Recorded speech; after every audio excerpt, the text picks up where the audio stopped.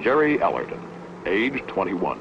Single, picture of the average American young man, full of confidence and high hopes, trying to find a place for himself in life? Perhaps. But with an interesting slant. This young man at 21 already knows more about one of the most incredible and rapidly expanding new sciences of the space age, underwater sound, than most of us will learn in a lifetime. Jerry Ellerton, Petty Officer, Second Class, U.S. Navy, sonar technician, submariner.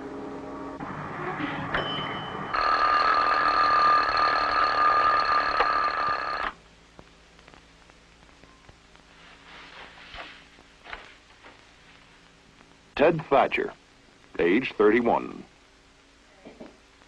Married, father of two, a shortstop, and a ballet dancer. Life for Ted and Mary Thatcher is not too different from life for thousands of other young married couples. They coach the Little League, worry about finances, do the housework, and support the PTA. In his job as diving officer aboard one of America's newest fast attack submarines, he takes a step or two beyond the responsibilities of the average man. Ted Thatcher, Lieutenant, U.S. Navy, submariner. Please.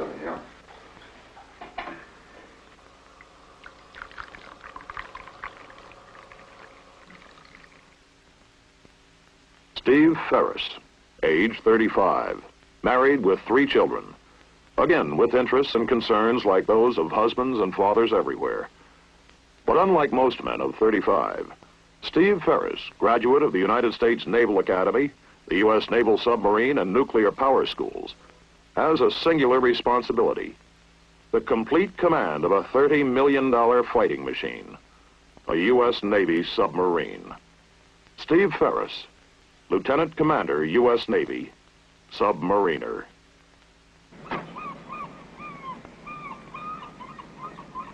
Ed Corbin. Age?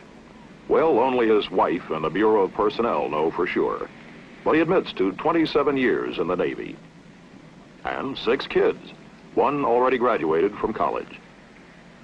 Ed could have chosen a less hazardous life as a plant foreman or construction supervisor, maybe, or almost any white-collar job you want to name.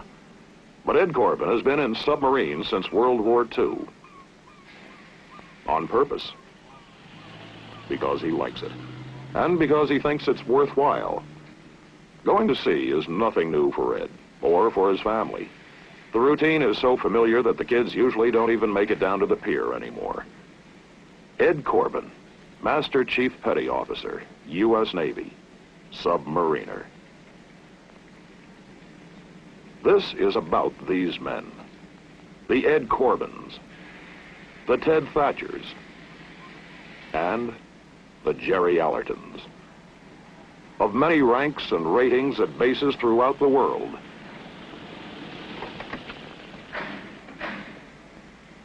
And it is about the Steve Ferrises and those who shoulder the burden of command. It is about the modern United States Navy submarine, an awesome weapon system, a superior fighting machine created out of the expanding knowledge of today's modern technology. But more important, it's about the men upon whom the machine depends. The men who run it, guide it, and make it do its job.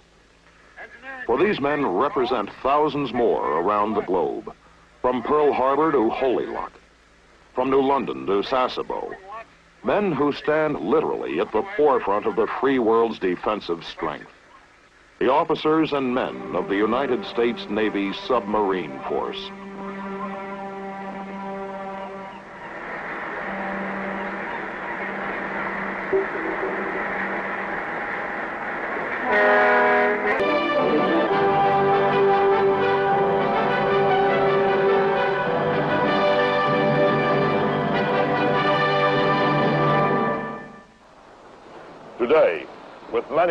Turned outward, toward the outer space away from Earth, some men have turned their attention toward an inner space beneath the surface of the seas.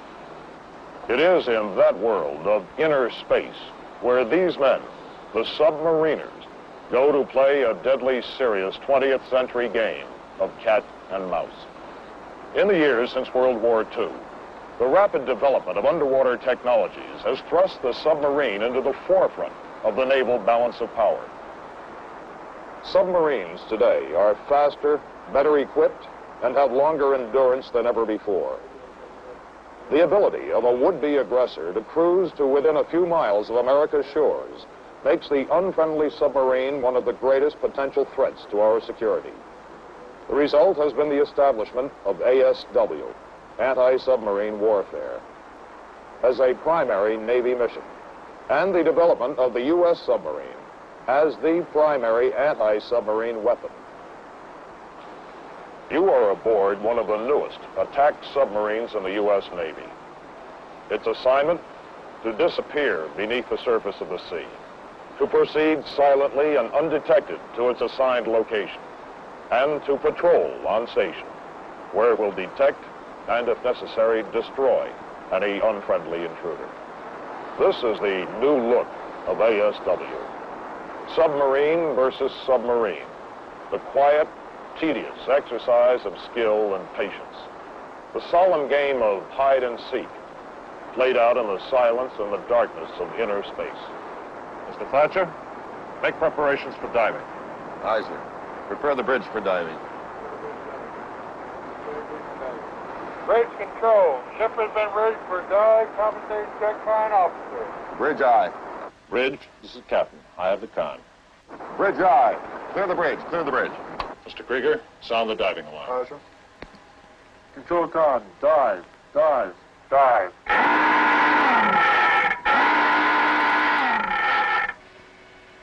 I'll ahead two-thirds. Two-thirds. Bring out the bow plane. Bring out the bow plane, Judge. Going sir. Two-thirds. Straight board, sir. Straight forward aye. John control. Straight forward. Very well. Make your depth 200 feet. 200 feet aye. Make a depth 200 feet. 200 feet, aye, sir. Five degree down bubble. Five degrees down.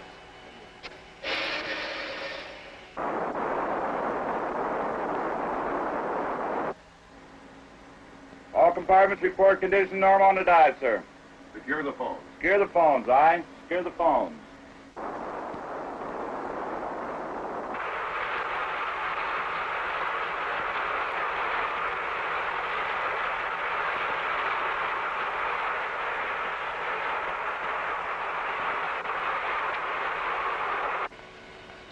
Your bubble.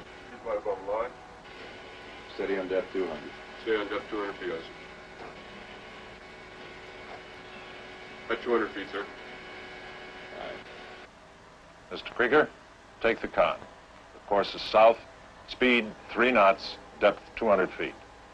Course south, speed 3 knots, depth 200 feet. I have the con, sir. For all intents and purposes, we have disappeared. Once she descends below the surface, the submarine loses contact with the world above. She is cut off from the familiar means of surface communications by the opaque water around her. But that's the way the submarine wants it. For of all her weapons, the greatest is her stealth, her invisibility, her ability to move undetected wherever she wishes, extending naval power even into enemy-controlled waters, where air and surface forces cannot retain control. One invention has had a special role in vastly improving the submarine's underwater capability. This is sonar, the underwater eyes and ears of the submerged submarine, product of one of the most intensive development programs of the post-war years.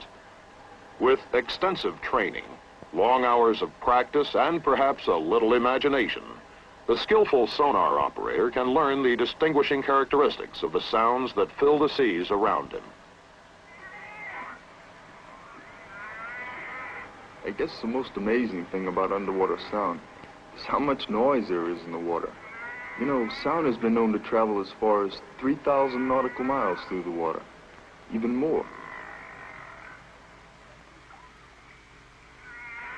Somebody once described the ocean depths as a huge, almost unexplored jungle with mountain ranges, canyons, populated with strange creatures, and with all kinds of noises racketing through it. Actually, the air in our atmosphere is a fluid, just like the sea. but the water is much more dense, so sound can travel further in water. Although you can't see them, there are several arrays of hydrophones on the outside of the submarine hull to pick up sound. Then the sonar equipment amplifies it so that we can hear it better, identify it, and tell where it's coming from. It's a funny thing, but after a while you can almost see with your ears the things that are moving in the water around you. Whales.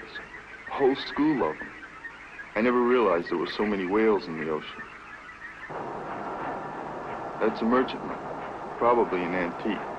She's probably giving it everything she's got and making about eight knots. There's a porpoise. Scientists believe they can actually talk to one another. The modern submariner, a new breed. Young, technically oriented. Some trained for as long as two years to the equivalent of a $20,000 education. But the submariner certainly is not just one man or type of man. There's much more to the story which should be told. The Navy, with nearly 200 years of superiority on the seas, is rich with history and tradition. The accomplishments of today are, of course, the result of yesterday's labor in the submarine service just as anywhere else.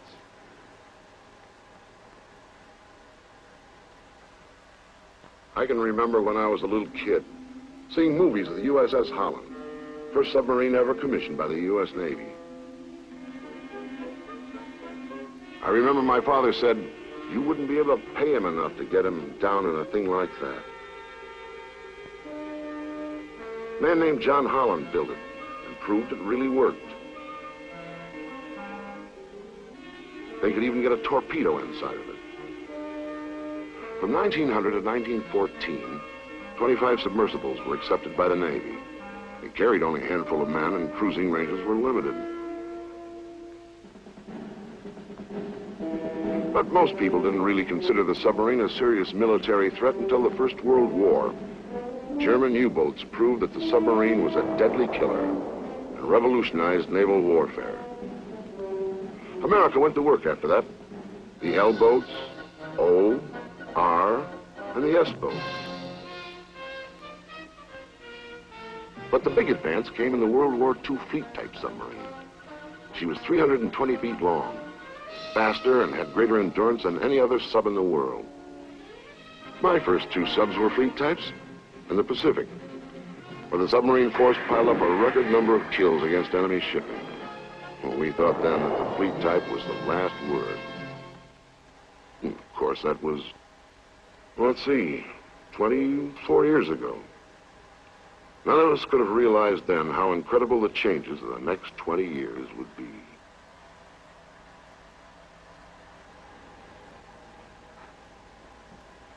The changes in submarining in the years since the Second World War have indeed been incredible. First, the snorkel, then nuclear power and revolutionary new hull designs. In general, as improvements were made, the hulls got larger and roomier, and consideration was given to habitability during design and construction. It is not an oversimplification to say that the submariner's life, like anyone else's, is divided between eating, sleeping, and relaxing on the one hand, work on the other. It's just that his work is of a rather momentous nature, and a great deal of our future depends on how well he does it. Man battle station's torpedo. Man battle station's torpedo. It has been said that there is more science packed into a submarine per cubic inch than into any other warship. At no time does the full scientific and technological potential of the submarine come into play as it does during a fighting situation. Our submarine has been assigned to set up a designated zone of defense. This zone will be invaded by a submarine playing the role of a hostile intruder. Our mission? To discover his intrusion, pinpoint him, and simulate his destruction. Con sonar, I have a contact on the ROA to you. bearing 120, drawing right. At the call to battle stations, every job is taken over by the man best qualified to do it. The submarine comes to its peak fighting condition. At the con, the ship's commanding officer and his assistant approach officer. The diving officer, responsible for the submerged operation of the ship. Nearby, the fire control party, the fire control coordinator and three fire control system operators. Their responsibility to solve the mathematical problem of determining the relative positions of own ship and target, and put the torpedoes on the right track to hit the target. The plotting party, supervised by the plot coordinator. Information received from sonar is applied to different plotting techniques in a multiple attempt to get an accurate solution of the target's course, range, and speed. Below in the torpedo room, weapons system personnel man their stations and prepare to ready the designated weapons for firing. The indicators on the weapon monitor panel keep the operator and the torpedo tube captains informed of the status of the entire fire control system and what is taking place above in the attack center. Con sonar, I now hold target bearing 125 in audible contact, evaluated as possible snorkeling submarine, designated Sierra 10. Very well, Sonar. Send bearings every minute and report when you can hold them in ATF. Sonar aye, contact Sierra 10, now bearing 127 and closing. Make ready Mark 370 torpedoes in tubes 1 through 4. Aye, sir. Tubes forward, con. Make ready for Mark 370 torpedoes in tubes 1 through 4. Con attack, Mark 370 torpedoes are loaded in tubes 1 through 4. Con sonar, contact Sierra 10, bearing 129. Evaluated as definite snorkeling submarine. Am tracking in ATF. Very well, Sonar. Get a turn count on the contact. Sonar aye. Plot. We'll make an approach against contact Sierra 10 bearing 130. He is a snorkeling submarine. I intend to fire two Mark 370 torpedoes. The tactics of a submarine attack are divided into three phases contact, approach, and attack. The first phase is now complete. Already, we know quite a bit about our adversary. He is a diesel electric powered boat, capable of running submerged on his batteries even more quietly than a nuclear sub. But his batteries eventually run down. He has been forced to come to surface to suck in air through his snorkel, to run his diesel motors and charge his batteries.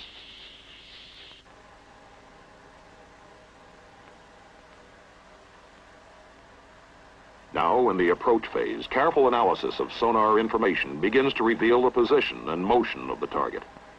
The plotting party and the fire control party, using the sonar measurements, begin to pinpoint a target they cannot even see.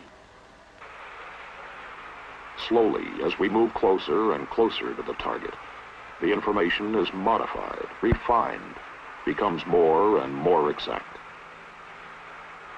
As the solution begins to look good, the final settings are made in the torpedoes.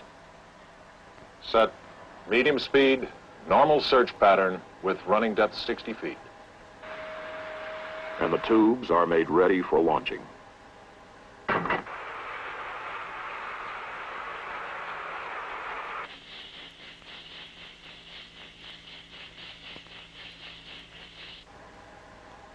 How does your solution look, Mr. Green? I think we have him, sir. We need one more bearing from sonar plot.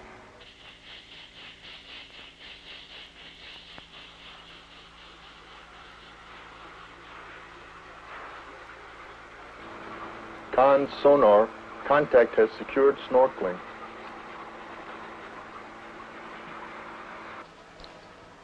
Contact has secured snorkeling. Plot aye. Con sonar, contact is, is cavitating. Sounds like he's going deep.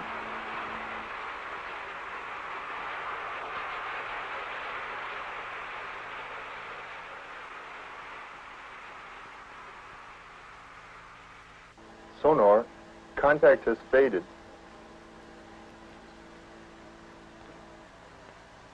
Sonar, shift to manual tracking and search 30 degrees around last contact. Sonar aye,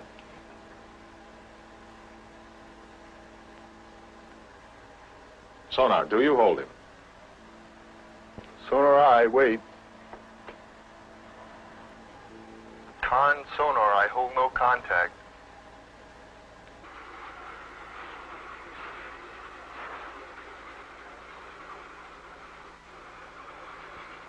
Sonar holds no contact. Plot aye. All stop. Rig ship for ultra quiet. Roger. All stop. Set condition ultra quiet. All stop aye. All stop. All stop. Answers all stop. Mr. Krieger, take the con. I'm going below. Aye, sir. I have the con.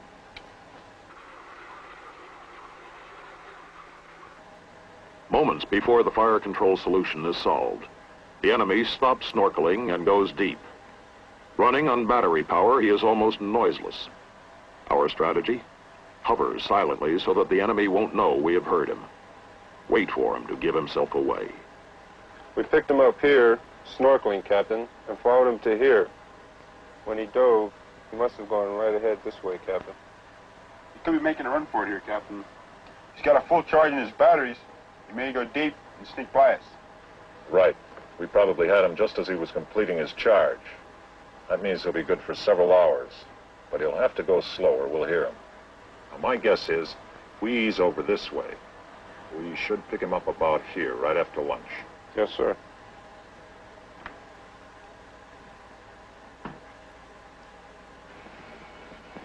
Mr. Thatcher, come right to 200 degrees and make your speed three knots. Aye, sir. And Mr. Thatcher, keep it quiet. Aye, sir. Right full rudder. Right full rudder. The rudder's right full.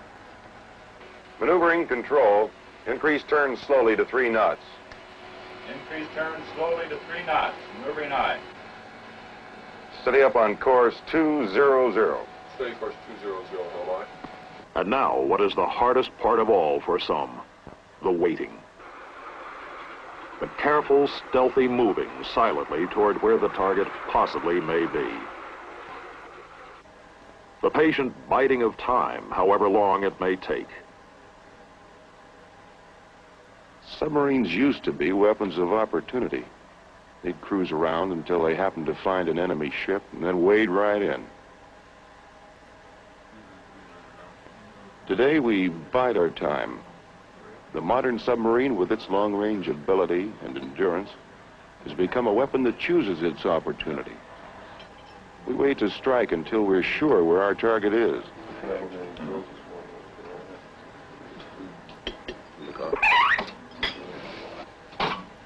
Captain, pass the word to man battle stations. I have him again. Snorkeling. Same contact we had this morning. Let's get him this time.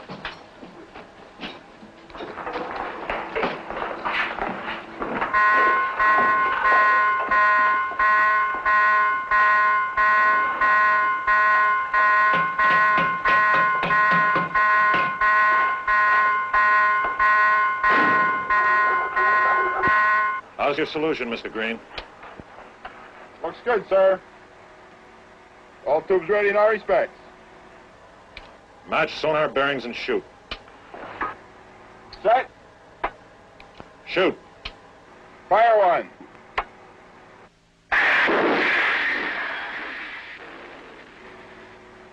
Set. Shoot. Fire two. In an exercise firing of this kind, the target is notified by underwater telephone as soon as the torpedoes are fired. Notify Rum Runner the units are away. Aye, aye, sir. Rum Runner, Rum Runner. This is Tabasco, Tabasco. Two acoustic units away. Time, 1240 hours. Out. Again, nothing to do but wait. The torpedoes will take several minutes to reach the target. If they are on their mark, The target will hear them and report the outcome of the attack over the underwater phone.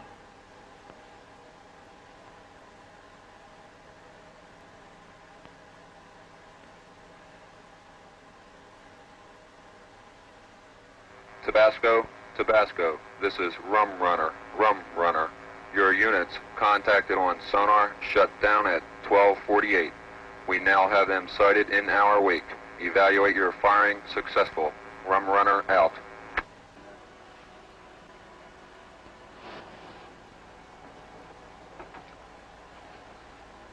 For these men, the successful completion of this mission, even though it was just an exercise, is of most critical importance. For they are practicing the skills they may someday be called upon to use in earnest, skills upon which a great deal may depend. They are working in a new dimension, under a new discipline, and armed with a host of new technologies, which even the visionary builders of America's first submarine, the Holland, could never have imagined. Nuclear power, revolutionizer of naval strategy, giving birth to what had never been possible before, a true submarine. And the accessories which interlock to make the modern nuclear submarine the finest and most sophisticated weapon system in the fleet. The newest and finest sonar equipment, fire control systems computerized and automated, plus the silent propulsion systems and hydrodynamically streamlined new hull shapes, which provide stealth, speed, and maneuverability. And yet, it is important to remember in all the sweep of technological advance which has brought these mechanical achievements into existence, that none of it can function without the man. The basic element of military capabilities in a prominent naval officer is man, individual man with his personal dignity and his pride. No matter what machines, what weapons evolve, they will be the product of man. Man will maintain them and above all, man must control them. Today, a new breed of forward-thinking men maintain that control over one of the most powerful and sophisticated weapon systems, which stands in defense of the free world.